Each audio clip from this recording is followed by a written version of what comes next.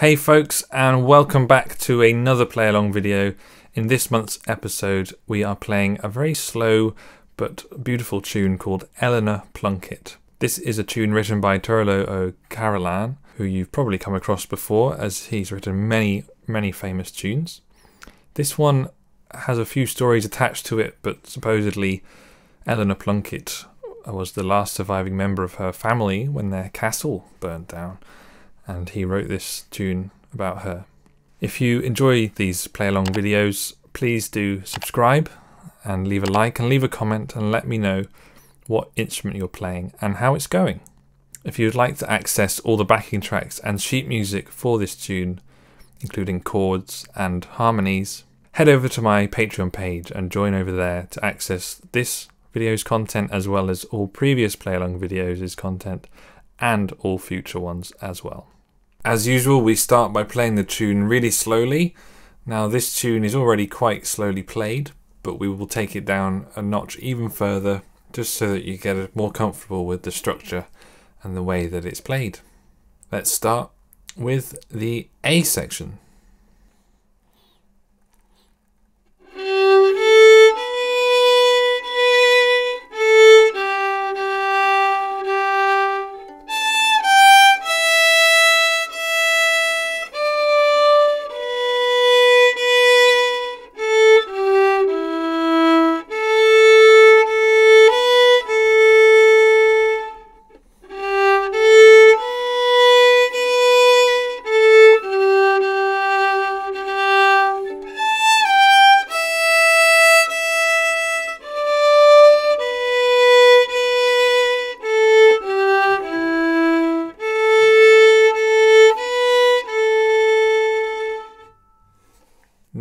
The B section.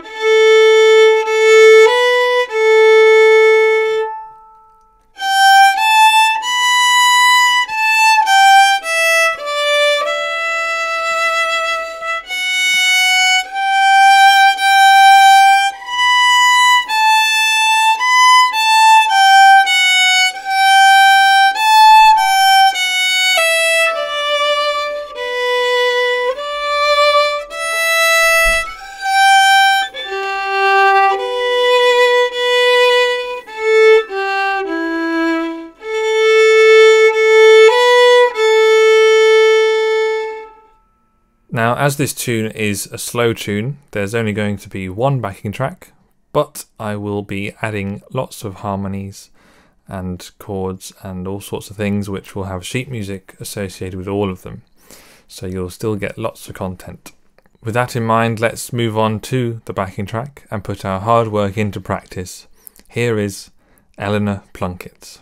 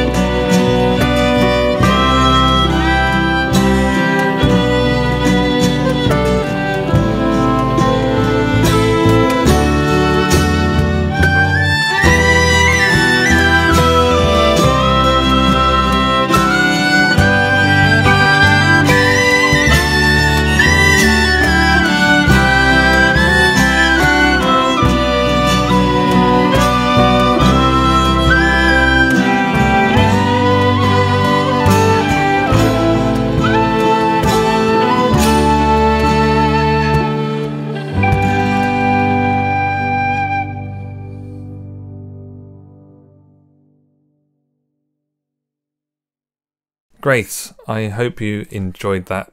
It is a beautiful tune. And if you'd like to find more info about this backing track, including different parts and more sheet music, head over to my Patreon and you'll find it all there. Don't forget to subscribe so that you don't miss more play along videos and other musical content. If you enjoy these videos, do leave a like, leave a comment to let me know how you're getting on and what instrument are you playing. Otherwise, keep an eye out for the next play along next month. And until then, I hope you've enjoyed the music, and I'll see you in the next one.